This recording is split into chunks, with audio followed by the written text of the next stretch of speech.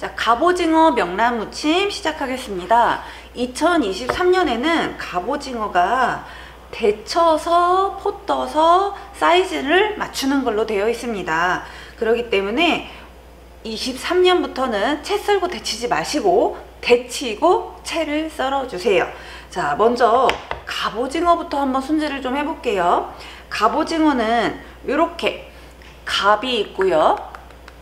그 다음에 요 안에 이렇게 살이 있는 애가 나올 수도 있고요. 다리는 버립니다. 이럴 때는. 그 다음에 이렇게 통통한 갑오징어가 나올 수도 있습니다. 한번 두 가지 정도 연습을 꼭 해보시고요. 또 때로는 물오징어가 나올 수도 있습니다. 먼저 갑 있는 걸 한번 보여드릴게요. 살은 여기밖에 없어요. 이 반대편은 다 갑이고요. 그래서 이쪽에 칼집을 넣으셔도 되고 안쪽에다 칼집을 넣으셔도 돼요. 반으로 자르지 마시고 딱딱한 부분 지느러미 쪽에다가 이렇게 칼질을 한번 넣어보세요. 그런 다음에 다리, 내장 다 벗기고 그 다음 갑 조심해서 다치지 않게 빼주세요.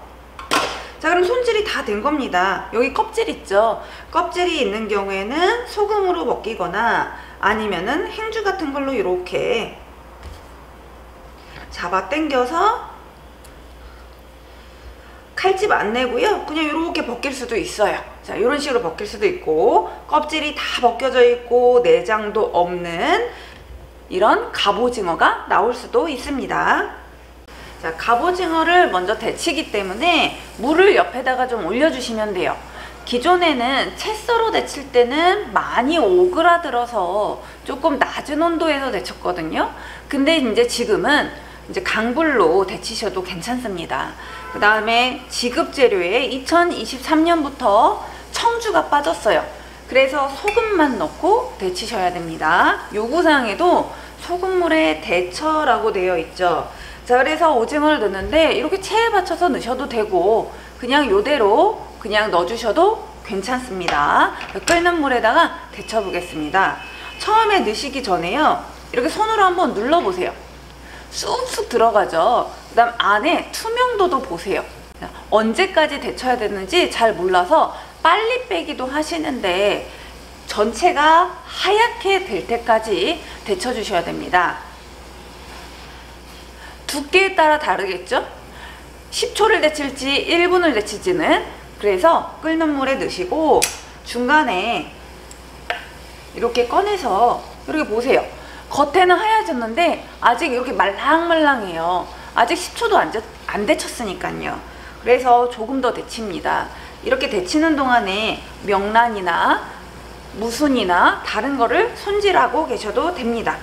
그래서 이렇게 안에서 젓가락 꾹꾹 한번 눌러보셔도 돼요. 보통 서울, 인천에서는요. 이렇게 통통한 오징어가 나오는 편이에요. 그렇기 때문에 생각보다 조금만 오래 데쳐주세요.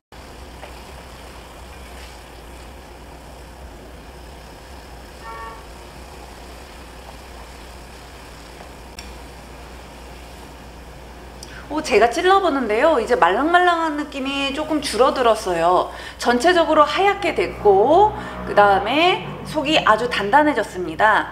그러면 찬물에 한번 헹구겠습니다. 뜨거워서 손질하기가 어려우니까 찬물에 헹궈 주셔도 되고 살짝 좀 덜 익은 것 같다 그러면 헹구지 말고요. 남은 열로 익을 수 있도록 그냥 이렇게 준비해 주시면 돼요. 자, 오징어를 잘라볼게요. 오징어는 지금 어떻게 생겼는지 유추가 되시나요? 이 뾰족한 부분이 윗부분이겠죠? 이쪽 방향이 가로 방향일 거예요. 이렇게 가로로 썰어야 오징어는 안 말립니다. 사실 데쳤기 때문에 이렇게 썰어도 크게 말리지는 않을 거예요. 그 다음에 이렇게 위에가 뾰족하다고 이 부분을 다 잘라버리고 쓰시면은 사이즈는 이쁘겠지만 양이 너무 차이가 나죠. 그래서 작은 것도 속에 같이 넣어주시는 것이 좋습니다. 시험장에서 너무 재료를 많이 버리지 마세요. 자, 너무 길다면 살짝 가장자리 정리해 보시고 그 다음에 0.3으로 하라고 되어 있어요. 그래서 0.3으로 포를 뜰 겁니다. 일식을 좀 하신다면 이렇게 칼을 비비지 말고 쭉 당겨서 0.3으로 한번 포를 좀 떠보시고 아직도 두께가 상당합니다. 또 한번 포를 뜨겠습니다. 자, 이렇게 해서 두께가 0.3이 되게 전량을 다 사용하시는 것이 좋겠습니다. 자, 저는 이 작은 부분까지 한번 속에 넣어보도록 할게요. 그 다음 제가 방향을 똑같이 하기 위해서 썰고 바로 그대로 놨습니다. 이걸 돌려놓고 막 이러지 마시고요. 생긴 대로. 그 다음에 두 개, 세 개씩 하면 생각보다 갑오징어가 미끄러져요. 그래서 하나씩 이렇게 당겨주면서 0.3으로 하시면 돼요. 아주 가늘게 안 하셔도 돼요. 두께는 요구사항에 적혀 있습니다.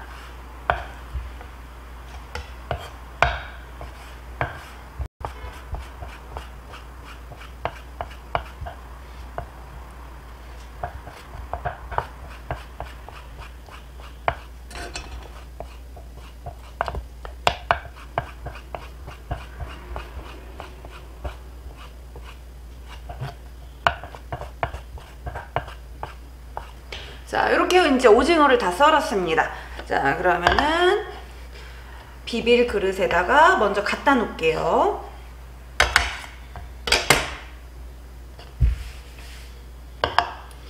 자, 그다음 명란을 받으시면요. 키친타올이나 뭐 비닐이나 뭐 이렇게 좀 깨끗하게 좀 보관하셨으면 좋겠어요. 여기저기 빨간 거 다 묻혀놓지 마시고. 그 다음에 이제 명란에 가운데를 살짝 이렇게 칼로 긁어보세요. 그러면 이제 알이 보이죠? 자, 이 부분을 칼 등으로 살살살 이렇게 긁어줍니다. 힘을 확 주면 이게 끊겨요. 그래서 살살 긁으시고 이 알만 갑오징어하고 함께 버무릴 겁니다. 자, 살살 긁어서 여기 갖다 놓으시는데 명란이 너무 많을 수도 있어요. 그래서 좀 많다 싶으면 다 넣지 마시고 일단 한쪽에 이렇게 놔둬야 되지 않겠어요? 너무 새빨가면 안 돼요. 그래서 이렇게 준비해 주시고 그리고 우리 명란 짠 거 아시죠? 그래서 소금을 꼭 필수로 넣어야 되는 건 아니에요. 소금 생략 가능하고요. 그 다음에 전에는 청주를 넣었다고 했는데 지금 아무것도 못 넣습니다. 그냥 이렇게만 비벼야 돼요. 근데 명란이 조금 뭉쳐져 있어요. 그래서 젓가락과 숟가락을 같이 이렇게 사용하시면 은 잘 풀려집니다. 뭐 손을 요 정도 이렇게 이렇게 쓰는 건 괜찮은데요. 이렇게 이렇게 비비지 마세요. 네. 자, 온갖 손에 다 양념 묻혀가면서 하지 마시고 뭉친 거 이렇게 풀어주시면서요. 살살 비벼주세요. 그래서 어떤 색으로 나와야 되냐면 벚꽃 색깔로 은은하게 빨갛게 김치처럼 하는 거 아닙니다. 자 이렇게 해서 이제 버무려 주시고 그 다음에 고명 준비해야죠. 자, 깻잎은 뭐 이렇게 자르셔도 되고 한 번 더 가운데 자르셔도 되고 그냥 바닥에 까는 장식이니까요. 깔끔하게 지저분하지 않게 너무 크지 않게만 놓으시면 됩니다.